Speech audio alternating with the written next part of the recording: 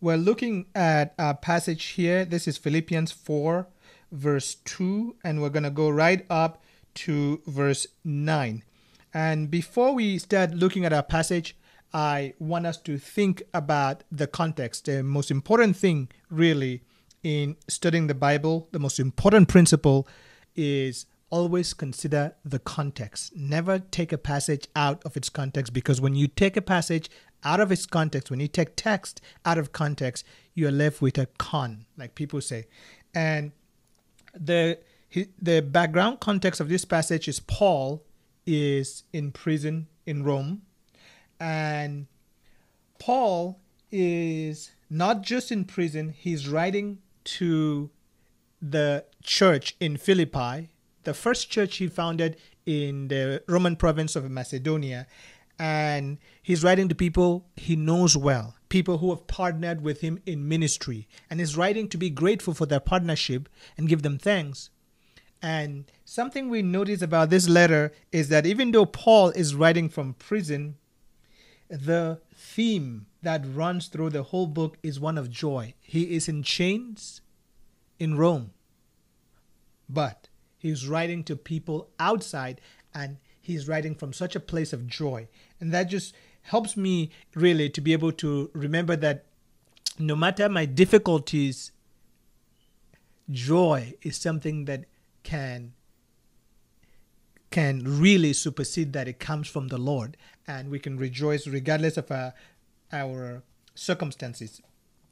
Now, we also notice something that runs throughout the book of Ephesians, uh, and that seems to underlie what Paul says in the, the lessons that he talks about is that there is serious conflict within the church at Philippi. And this conflict is not just any kind of conflict, it is conflict that is occurring between two women that have both labored at Paul's side. It's conflict that is happening uh, among believing Christians that are serious believers, not just any kind of Christian.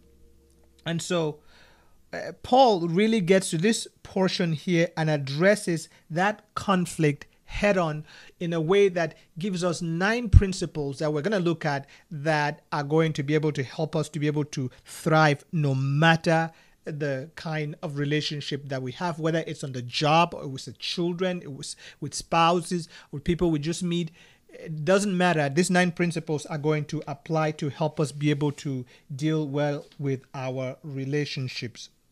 Uh, as far as the the internal context, the surrounding context that comes before and after this text, we see that Paul, this text appears towards the end of the letter.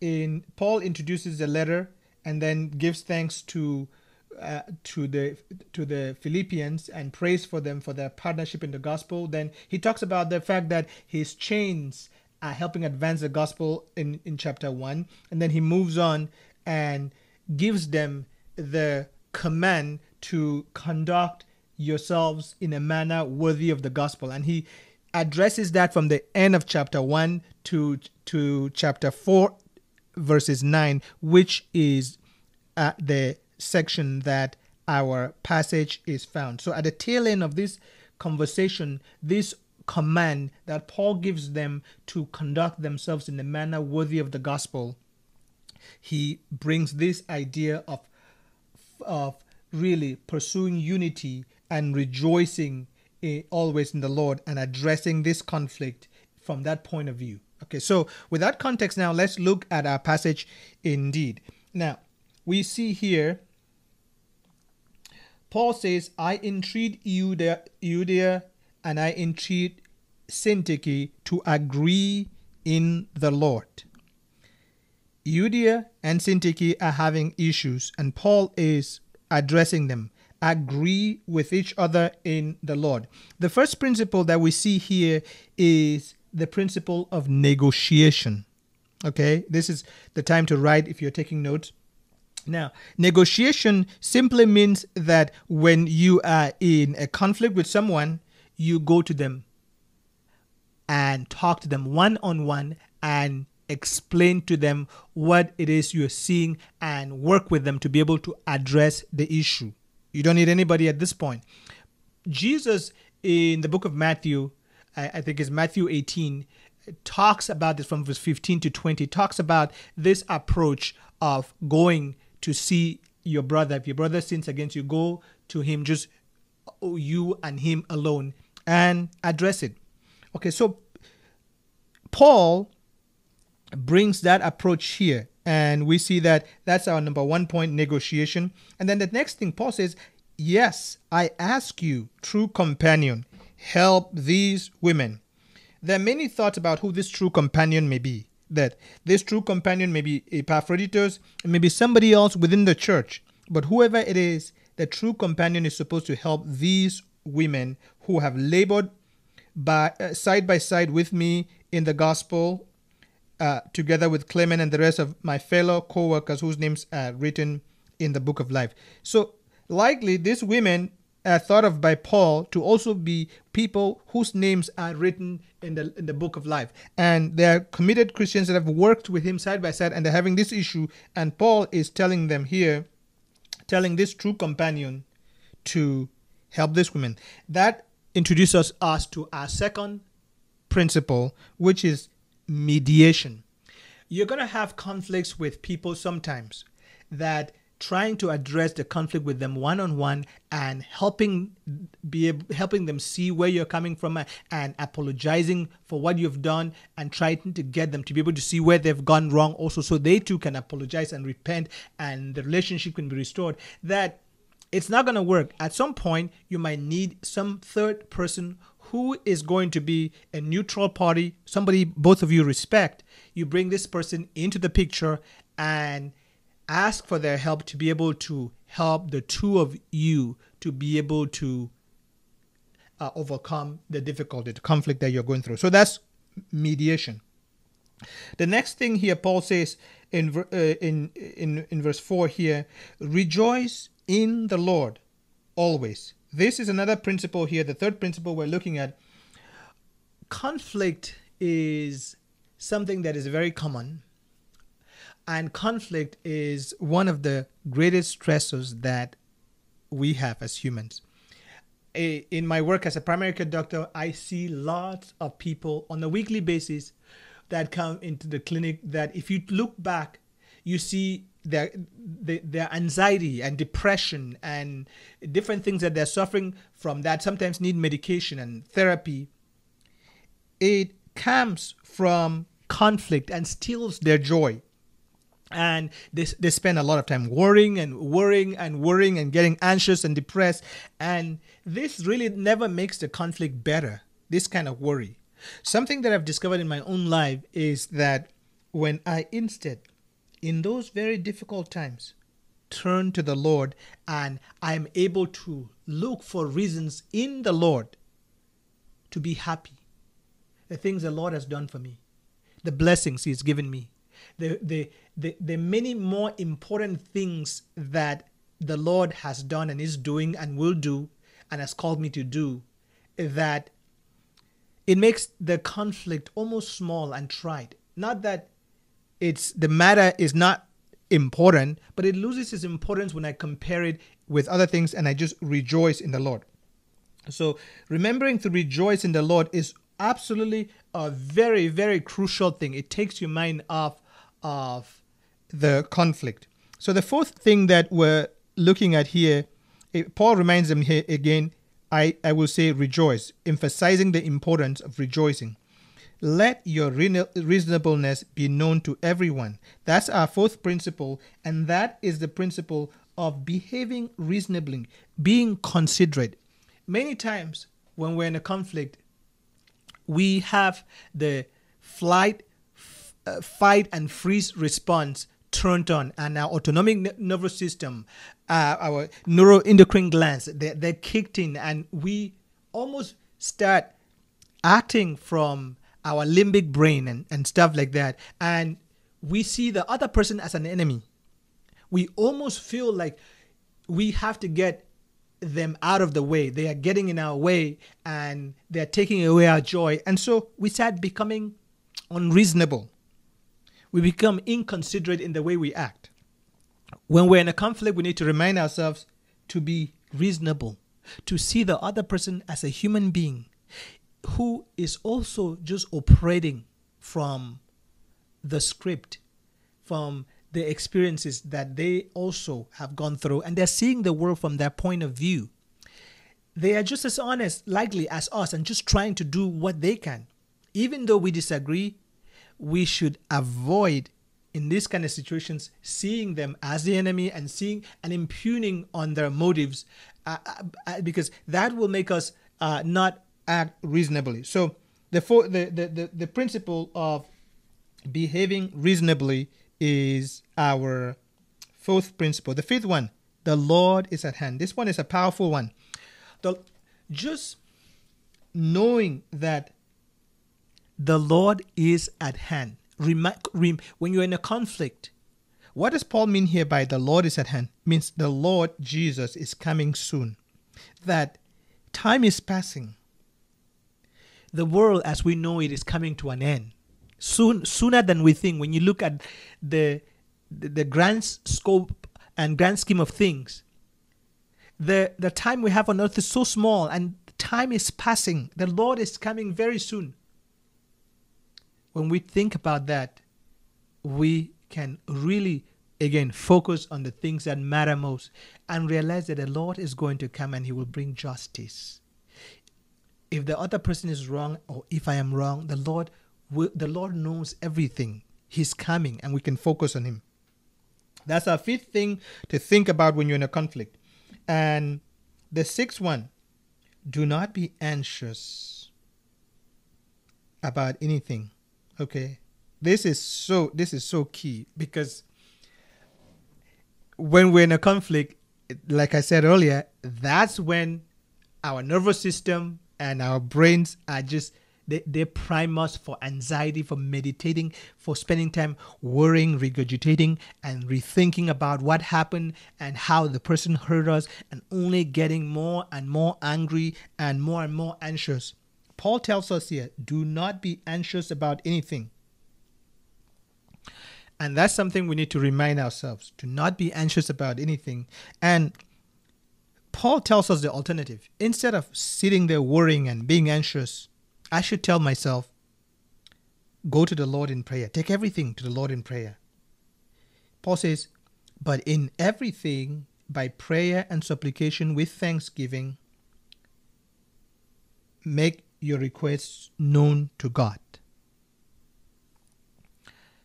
Instead of sitting there worrying, which is going to do me no good, we remember Jesus in the Sermon on, uh, on the Mount talking about anxiety. We can't grow a single hair by worrying. Okay? And we, worrying changes nothing. But what can change something? Absolutely. In my life, in your life, is when we wise Christians is when you and I, instead of sitting there worrying, because we know that that's not what wise Christians would do. That's not what wise followers of Christ would do. That's not what wise people who are surrendered to the Lord would do. Instead, we should take our concerns to the Lord by prayer and supplication and thanksgiving we should let our requests be known to the Lord. That is one of the most powerful ones prayer, genuine prayer. And when you go to pray, you know what Jesus teaches about prayer? When you go to pray, you must forgive your brother so that our Father in heaven may, for- may forgive us too. When you go to pray, you must love your brother and do good to those who, help, who, who hate you because we are children of our Father in heaven. So, going in prayer and actually praying not only for yourself and for the situation, but for the other person, praying that God will help you to be able to see the situation as truthfully as God sees it and to be as gracious as God wants you to be is a powerful, powerful thing in dealing with conflict. And he continues here. And and the peace of God, which surpasses all understanding, will guard your hearts and your minds in Christ Jesus. So, there's a cause effect relationship almost that Paul seems to be pointing here. Uh, prayer when you pray, the result is that you're going to have the peace of God, which surpasses all understanding, guarding your hearts. And that's exactly what you and I need in a conflict situation. What we need is the peace of God, which surpasses all understanding, guarding our hearts. So, wise Christians, the most important thing to do, I think, in a conflict is to be able to do number seven genuinely pray and allow God to be sovereign, sovereign, completely sovereign when you pray. Allow God to be sovereign in the sense that you truly know that God controls everything in the universe, that not a hair can fall from your head. No one can hurt you. Nothing can happen to you. The person you are in a conflict with cannot hurt you, even if they tried, if God does not allow it. And if God allows it, He certainly plans to use it for good. See the Lord as sovereign and submit to His will.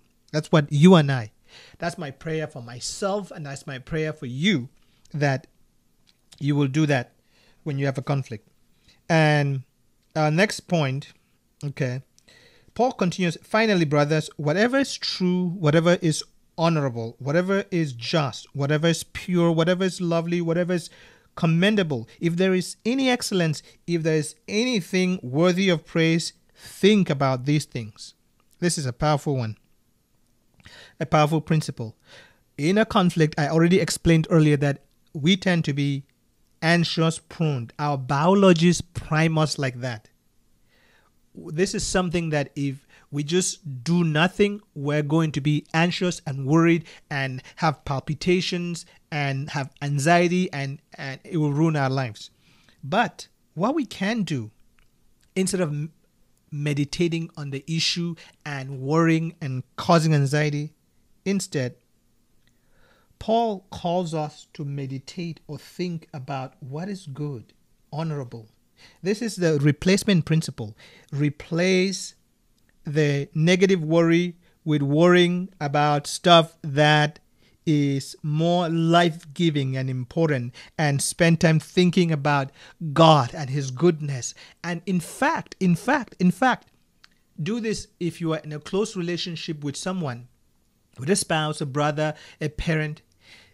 Think about the good things that that person represents, how good they have been to you in the past, and how good they are as a person. You can do this even for a stranger or somebody at work. Think about them as a person and just think about how helpful they are to others, to their children, to their family, and see them as a human being. Because one of the things that happens in a conflict is that we tend to objectify other people.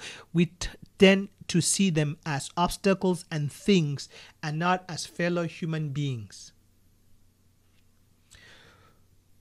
Thinking about what is good, meditating on what is good is, is awesome here. And then Paul, the ninth principle here is what you have learned and received and heard and seen in me, practice these things, and the God of peace will be with you. That is, the ninth principle is to imitate godly leaders. Paul was a godly leader for them, and Paul wants them to imitate him. So, those are the principles from number one, negotiation. The second one, mediation. The third one, rejoice in the Lord always. The fourth one, behave reasonably and be considerate. The fifth one, know the Lord is at hand. The sixth one, don't be anxious about anything. The seventh, pray about everything and give thanks. The, the eighth, meditate, think about what is good, honorable. And number nine, imitate godly leaders. I trust, brothers and sisters, that if you do this, you will be acting as a wise Christian, the wise Christians that we are. If you and I do this, we will be acting as wise Christians and we will be glorifying our God in our actions and God will work all things for our good. I hope this video was a blessing to you. If it has been, please don't forget to to like and subscribe and share this video with somebody that can be uh, that can find it useful and My prayer for all of us is that God will help us to become the wise Christians that He has called us to be, to walk in faith and to do His will and to bring glory to Him. In the name of Jesus, Amen. I'll see you in the next video.